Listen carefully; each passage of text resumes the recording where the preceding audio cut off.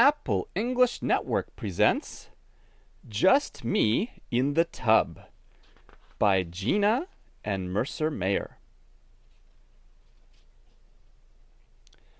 When I take a bath, there are lots of things that I have to do. First, I start to run the water in the tub. I like it to be nice and warm. Sometimes it takes a little while to get the water just right. Then I put the bubble stuff.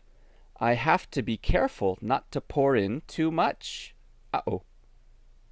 While the water is running, I get my towel and washcloth. I like big fluffy towels. I get my pajamas too. I always look for clean ones. Then I take off my clothes and get into the tub. When the water is just deep enough, I turn it off. If I let the water run too much, it could splash on the floor. I always wash before I play in my bath. I start with my face.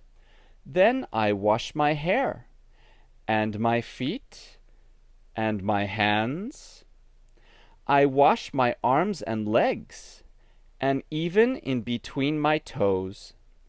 I can't reach my back, so I use a brush for that.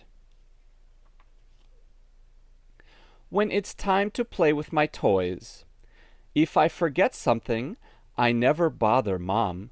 I just go and get it. Uh-oh. I can't take my stuffed animals into the tub but I bring them into the bathroom so they don't feel left out. I like to play with my pirate ship in the tub. Sometimes my pirate ship is caught in a terrible storm and ends up stranded on a desert island. I have pots and pans to play with in the tub too. I like to make bubble cakes but they don't taste very good. Blech. I can make myself look like Santa Claus. I play in the tub until my mom says, Time to come out now. I knew it was time because the water was getting cold. When I get out of the tub, I step on the bath mat so I won't splash water everywhere. Sometimes mom comes in and helps me dry off. Then I put on my nice clean pajamas. I always remember to let the water drain out of the tub, but sometimes I forget about my toys.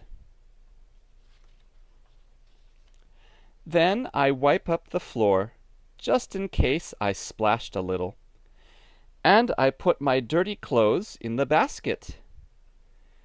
Taking a bath can be a real job.